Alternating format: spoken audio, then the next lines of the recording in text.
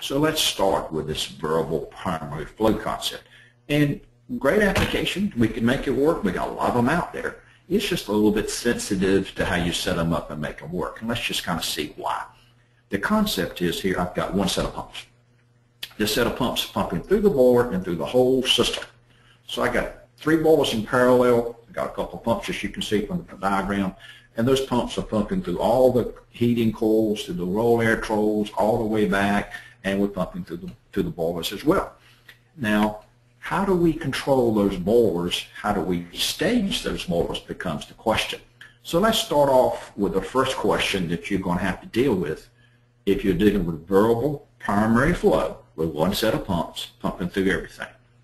And I switch you over to ASHRAE 90.1 2010 because of the energy code, this is what we're after. There's a very important piece in here you need to be aware of. Now, I think most of us are aware of the pump isolation on chiller plants, and that when you cut a chiller off, you're supposed to stop the flow through the chiller, and so forth. But a lot of people haven't really looked at the last paragraph, because the last paragraph of this slide very clearly says the same thing applies to boilers. If we have more than one boiler, and we go cycling the boilers on and off, that we've got to reduce the flow or shut the flow off when we cut a boiler off. Same concept. In other words, they don't want flow through a bore that's not running. It's a waste of energy. Makes good sense, I think. You think about it that way. How do we apply this code? How do we make it work to variable primary pumped? Now, we're going to show uh, an actual system schematic in a couple slides, but before we get there, let's plant a few things in your mind. And these are must. If you're going to do a variable primary pump design, you have to do these things. I don't care who you are or what brand it is to make it work. You're going to have to make sure each boiler has a flow limiter so you don't overpump it. You're going to have to make sure each boiler has its own two-way isolation valve to meet the energy code of 90.1, 2013, by the way, 90.1, 2013, that's the same thing in it, that you don't flow through the boiler when it's, when it's not online, when it's not firing. You've also got to have a minimum flow rate for each boiler to start it up and staging. Otherwise, it's going to kick out on you on manual high limits. You must have a minimum system volume for each boiler. You've got a minimum gallons in the system so you don't short cycle it. It can get them started. And then you also must protect those pumps. There, there's going to be some minimum flow rate through the pump we want to make sure we protect it. Those things you're going to have to do, and we're going to walk through each one of them in just a minute again, but get them in your head. No options here. These are mandatory things you got to do. So if we start looking a little closer at these two-way isolation valves that are on each board, what are the characteristics of these things and what do, what do we need to do here? Well, the first tricky part is they've got to be timed to open and timed to close. You can't just stick a two-way valve on off. Uh, and that time to open and close is based on the boiler response time.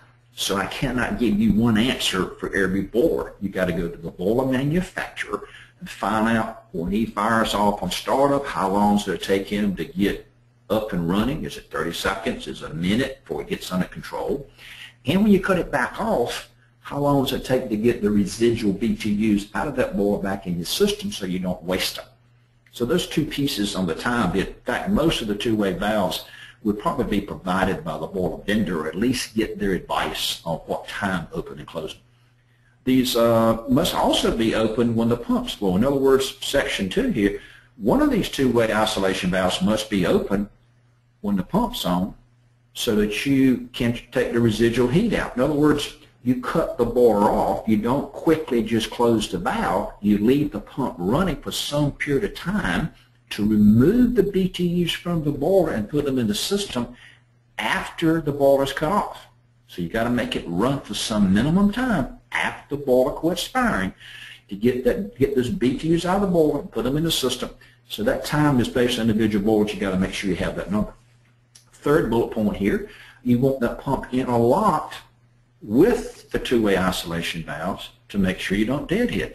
In other words, you if you initiate and you allow the boiler to come on and you're putting it in the heating mode, now the boiler may not be fired yet, but you're putting it in the heating mode and you want to circulate water through your system to allow the boilers to cut on and off automatically. Well, the only way you can do that is one of the boilers even if it's off, one of the boilers minimum has to have its two-way valve open to establish a flow path. So you got flow through the boilers, through the system, so your system's in automatic mode. And you don't want to deadhead those pumps. We want the minimum the pumps. Last bullet point here would be, we would recommend probably a few three-way valves out at the end would be ideal to establish that minimum flow for your boiler and our minimum flow for your pump, whichever is the biggest. But remember, we've also got to have one of those two-way valves on those boilers open at that point in time to establish a flow path. Let's bring all this together now with a little piping diagram. And here we go back to that variable primary pump schematic we had a few slides back. But notice we've, add, we've added flow limiters. So each boiler has a flow limiter, and this means I can set it for the max allowable GPM through that boiler so we won't hurt the boiler. Second thing we've added is a two-way valve. Each boiler has its own individual automatic two-way valve, timed to open and close as we talked about, to make sure when that bore is not being fired, we can cut it off. Now you see we got two pumps, and you also see a little bypass valve. That's a modulating valve here if you don't use three ways. The next slide I'll show you where the three ways would go.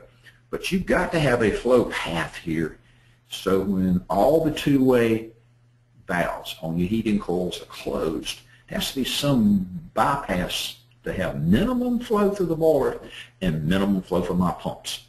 And if you kind of look at it a little bit further, you, you can start understanding that, I hope. But do you need a boiler bypass flow path and modulating valve? You see the bypass in that slide, and the answer is absolutely you have to have one. So again, we're recommending that we go out in the system and put a three-way valve sized for the minimum flow rate for that bore and or the minimum flow rate for the pumps, whichever is highest, and we make sure that we've got that flow path established. If you don't do that, you will have issues. Also remember, when we turn the pump on, the lead pump must run continuously to provide system flow. We have to have a flow path even if the two-way valves in the heating systems are closed and we turn the pump on, we got to have a flow path for them somehow. That's why, as you see in this slide, we are showing three-way valves at the very end of the system, enough of those three-way valves size for minimum flow rate of one bar and on the minimum flow rate of the pump, whichever is the biggest. That would be the ideal. If you don't want to do that, you can use the two-way valve we showed a few slides back in the equipment room and have to bypass around. Well, let's look at this slide a little bit further now because we've got the whole system on here. Think about enabling this system. The boiler's not firing yet. You want to put it in the automatic mode so that as you get a call for heat, the system can automatically cycle the boilers on and off. So if you enable the system, that means you're turning the pumps on. That means through one of those boilers, even though all three boilers are off at this point in time, there has to be a flow path. We have to have one of those two-way valves overriding at least one, even with the boiler off, to establish a flow path for our pumps.